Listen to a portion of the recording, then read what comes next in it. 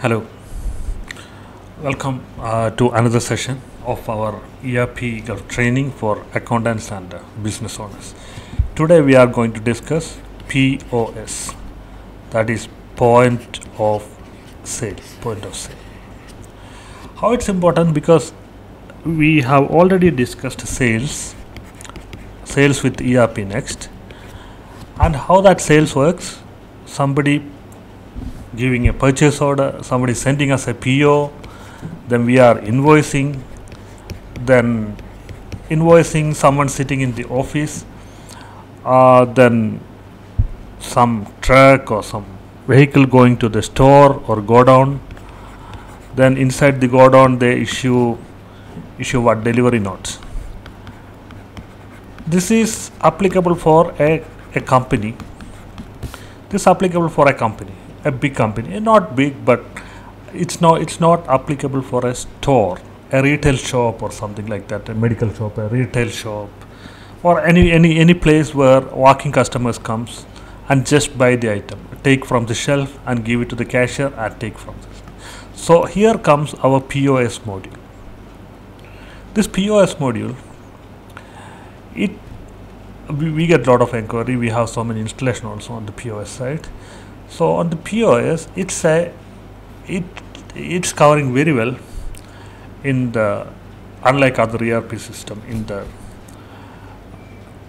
ERPNext or ERP whatever. We have we have a lot of customization for this module in the point of sale module for uh, Gulf countries, especially for medical um, for for medical and all. I mean for the medical and food business, medical and food business it need it need expiry date and uh, so it, it is handled as a batches. We have discussed batches in the last couple of mm, two two session back or thing. I'm not sure. Maybe last one. You can check back our youtube channel. Uh, so it's dealt in batches. So batch wise invoicing pos is very important for medical and food so we have made some customization that we will cover in the next session. So today we are not go, go covering the batch entries in in this. We will we will enter it. We will do it in the next session. Today we will just simple sales like electronic items or other groceries and all which doesn't have anything like batch. It's just the, there is no expiry you just sell it. If there is a barcode you just sell it. And in the POS we have multiple equipments connected. That is one is a POS machine and uh, POS machine with the cash drawer. Maybe pole display. Cash drawer pole display and what? Thermal printer normally that's a print thermal printer. Uh, I can I can I can take you one picture from Google as a POS machine. Just you can Google it. I mean point of sale machine. Oh this is all coming like this here. You can you can see this. I mean of course you most of you are familiar uh, but just let us let's elaborate little. This is the POS machine. Normally there is uh, a, a printer here a printer here a scanner here a, normally a touch screen here and a cash drawer here. There is normally a pole display like this. A pole display like this showing the amount connected to this. I'm not good at drawing but there will it will it will show the amount and all. So this is this also part of it. It's pole display so these are the things there. Again uh, there's a printer there's a uh, scanner there's a cash drawer and there's a monitor. So in the monitor nowadays it's all touch screen. So our uh, we have it like we have it like here. There are customized modules also. Uh, here we have I mean if you have pictures all the pictures will come. For normally for for restaurants and all if the menu items are not that much then we have pictures here. But in the grocery and all we don't have pictures. We will put uh, pictures in that. It will be like display in a row. And uh, there is another uh, there are multiple kind of uh, POS is uh, is this I mean there are there are multiple type of uh, customized available for this. I'll show you one example. POS awesome.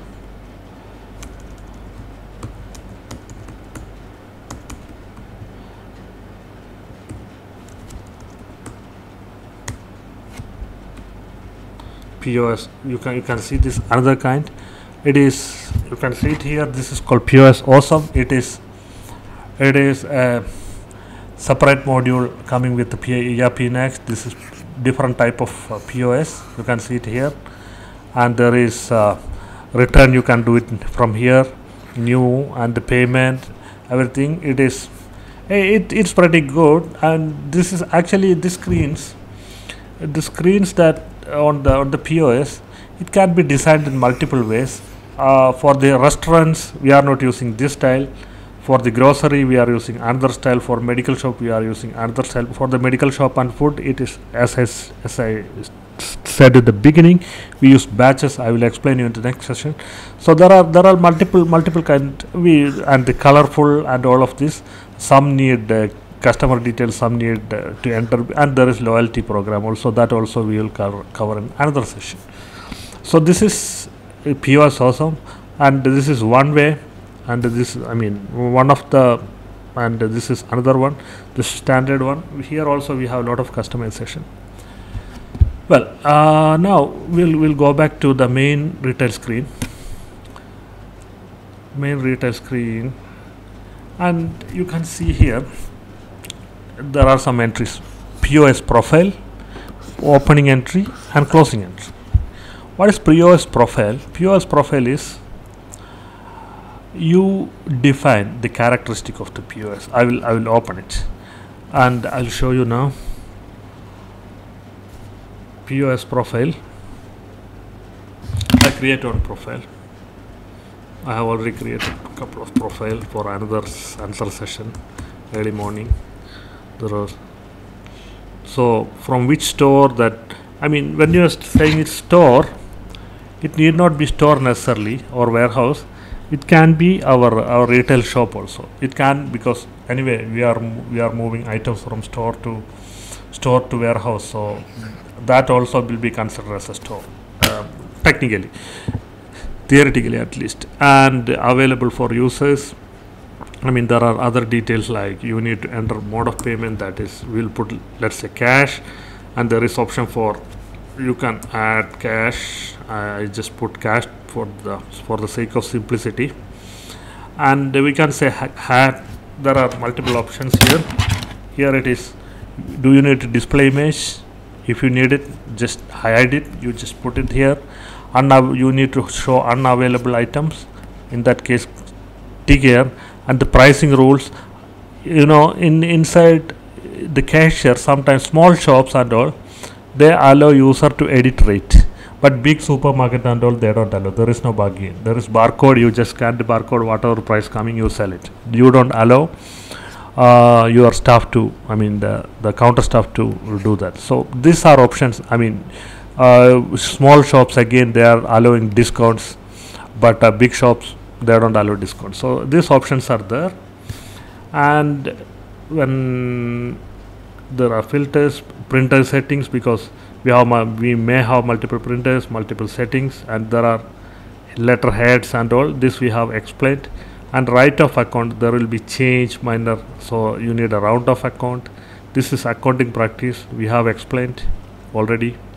So if you haven't uh, listened our first accounting video you can go back and, and listen it once again. And uh, the users uh, the customer normally this customer is walk-in customer. Uh, you don't need to save the name and all but for the loyalty programs you may need it. So we will explain loyalty program again. So we, created a profile now. Let's go back to here. You you have a profile. Oh sorry.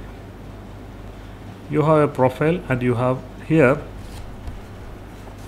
you have an opening entry and you have a closing entry so what is opening entry? Opening entry is you know in the morning when when a cash um, I mean a counter operator or a, or a, a your staff coming for job they come to the supervisor. And supervisor giving him a cash drawer tray with something like small changes like 150 real or 200 real inside that. Uh, and this is then they go to the counter they sit there they make the selling and everything collect the money and then come back. After her shift she come back for closing entry to the same supervisor. Those say the same supervisor make another entry. Uh, that she, uh, supervisor will make the entry total entry and see uh, total bill amount and the opening amount is included there. Then settle settle that. So this in entries are important. So this this is a one time thing. This is every day every shift the supervisor is doing. Then this is the point of sale. So i'll i'll go to opening entry. This is obviously these are different users supervisors and all not same. So i just put it here a pos profile. Pos 3 i put mode of payment is cash and everything. Now it's okay, okay. Opening amount i will give an opening amount something like 250 oh that's too much. Okay. I put 250 as an opening amount. Then uh, i submit it. Then the the operator go the the counter staff go there and make a sale. Let's say she's selling a pencil. A pencil. Panadol extra that we have explained in the past video that this is a item with batch numbers. So we we have to deal batch numbers in the point of sale that will be in the next next session or in the, in the coming session. We will explain. We cannot do these items with the batch in the right now but you, i will explain it next. So we can do it iphone or pen or pencil or anything. So i'm just selling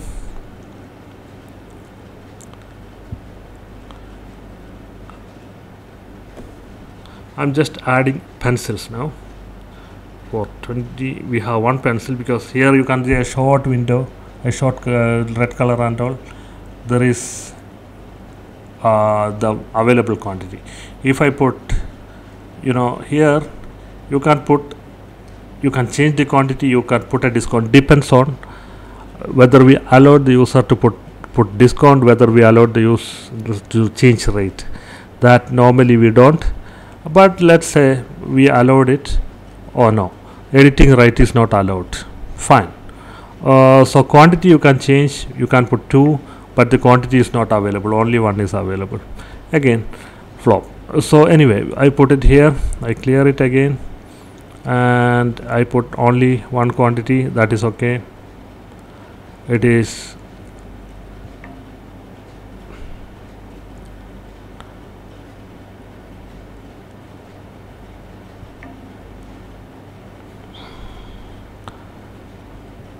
only one quantity 20 real and i'm making this sell okay? I'm checking out. 20 real and when at the time of checking checking out they will give you money. The customer will the cash cashier money. Let's say there is no change the customer gave you 100 so what what will show here? The paid amount is paid amount is 100 change 80 grand total 20 so you will pay him 80 back from the drawer because you already have money. In the drawer because when you are opening the session the supervisor gave you 250 so i just complete the order. Okay. So for the new order you just click here. Same same thing maybe thousands of invoice you may be printing. And here mm, the item we sold if we the thing is before version up to version 12 up to version 12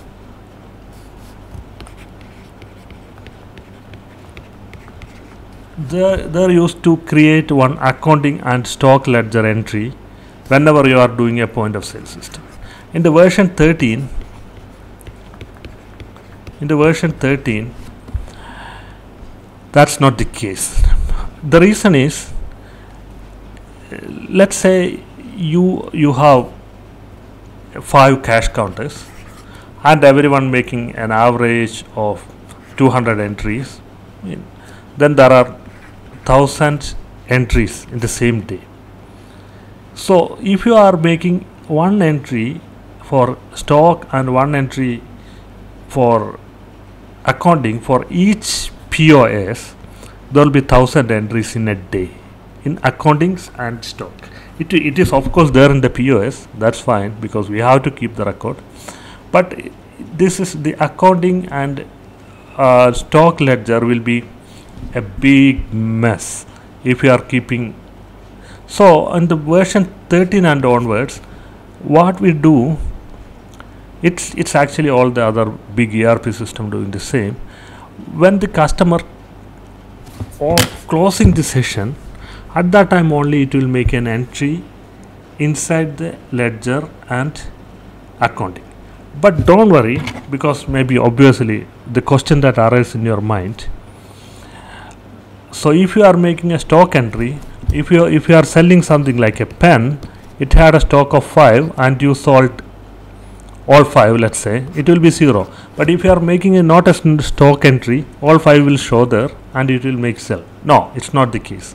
Stock on the point of sale it will not show 5 it will show 0 only and you cannot sell it. That's that's handled. And the- but the entry going to stock it will be clubbed together. It will be one entry.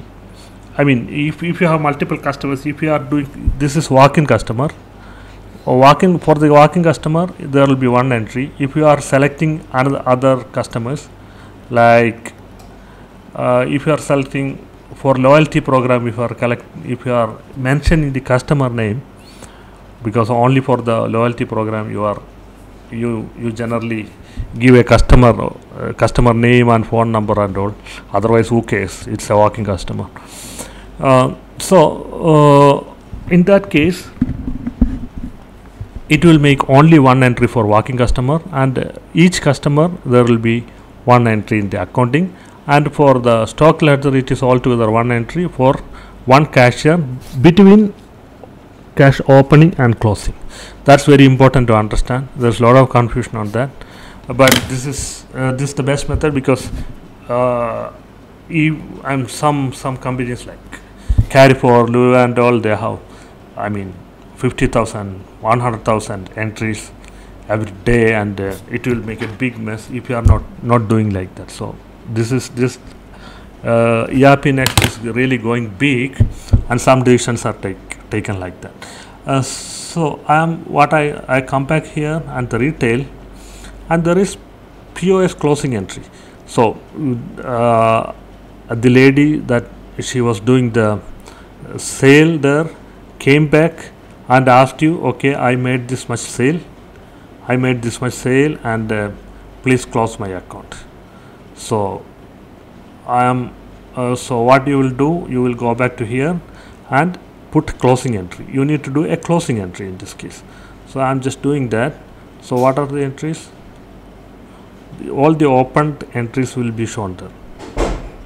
All the open entries will be shown there. So you can select the open entry so what we have sold a 20 real thing.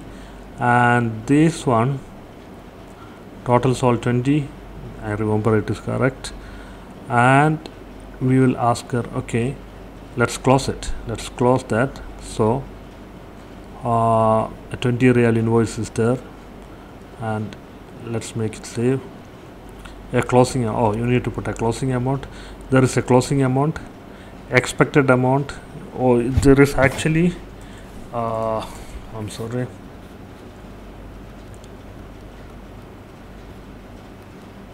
There there is opening amount was 250 and we sold 100 so we the the cashier should return to supervisor.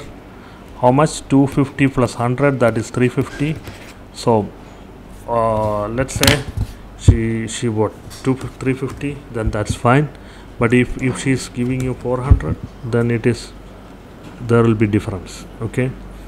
So I'll just put it expected amount 100 whatever. So this calculation expected amount 100 uh, so I'm I'm just closing this. There's no difference now. This is the concept is clear. Maybe minor mistakes we have done here and there. But this the concept you can then I, I submit it.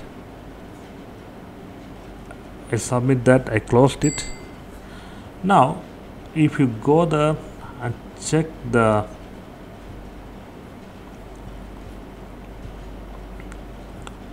check the stock ledger before the last session I show you how to do check stock ledger. You can just go here and check the stock ledger and you will see there is a sale that happens with this invoice.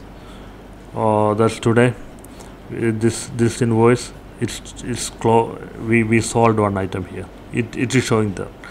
Uh, but I mean if we this is the stock ledger. It, it appears here only after that you are the session is closed. Otherwise it will not show here. It will show on another report that is related to stock ledger. And stock balance also it will reflect after that. But it will there are another report that is that is designed for pos it will be shown there. And here on the accounting also so for the accounting if you take this uh, general ledger you, you can see an entry related to that. An entry related to that.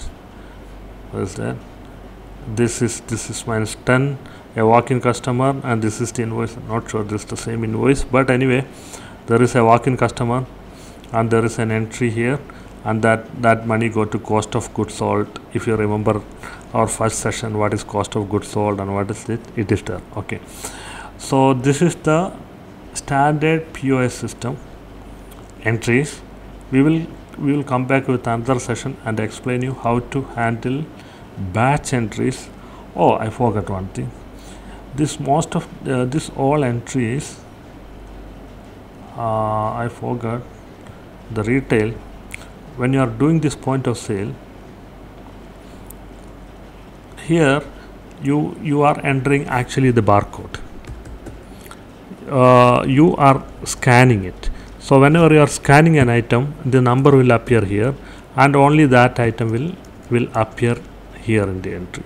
Or you can just put the number and also normally it's always always nowadays it's barcode. You just put barcode barcode number here.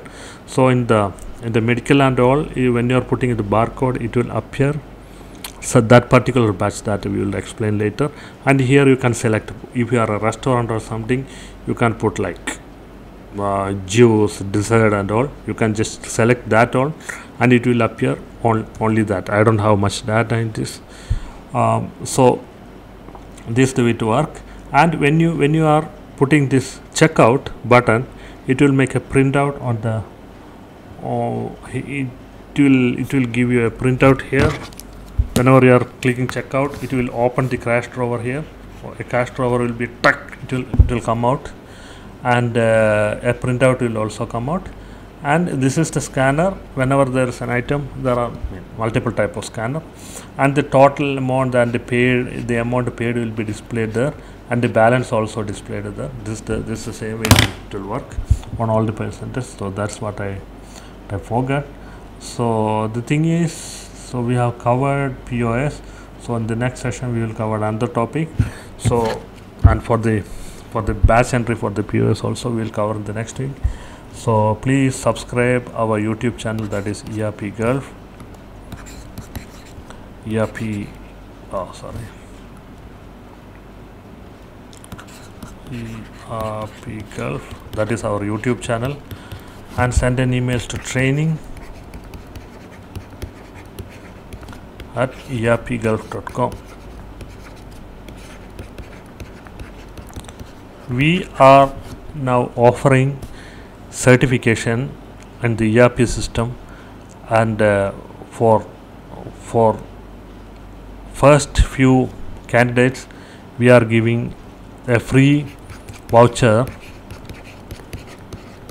for certification. So you can you can apply for that. You can send an email to training at erpgulf.com so you will get a free voucher. So do subscribe our youtube channel not because we are monetizing our youtube channel or something. Whenever there is a new update on on the on our education video you, you will get a notification and you will see that. Thank you. Thank you for joining us. Thank you. Appreciate that